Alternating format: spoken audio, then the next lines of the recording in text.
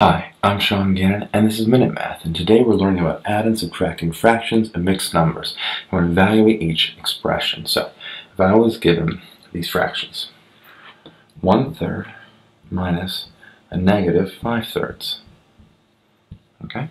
So we have 1 third minus a negative 5 thirds, okay? Well, one thing we see is subtracting a negative, same thing as adding a positive. So let's go, let's go do that. We have 1 third plus a positive, 5 thirds, okay? And that's plus a, let's go. Make that a little nicer there, looking, a swirl, plus a positive, okay? All right. So now that they have the same base here, right, since 1 third and 5 thirds have the same base of 3, we can keep that base there and we just have to add the numerator. Well, 1 plus 5 is 6, right? So we have 6 thirds. Well, 6 thirds can be simplified, right? 6 divided by 3 is just uh, 2. Right? 6 thirds implies to be 2. So our final answer here is just good old 2. So quick recap.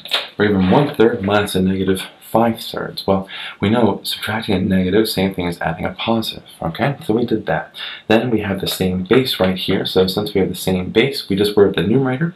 Numerators add up to be 6, bring down the base of 3, and 6 thirds simplified to be 2. So our final answer here is just 2.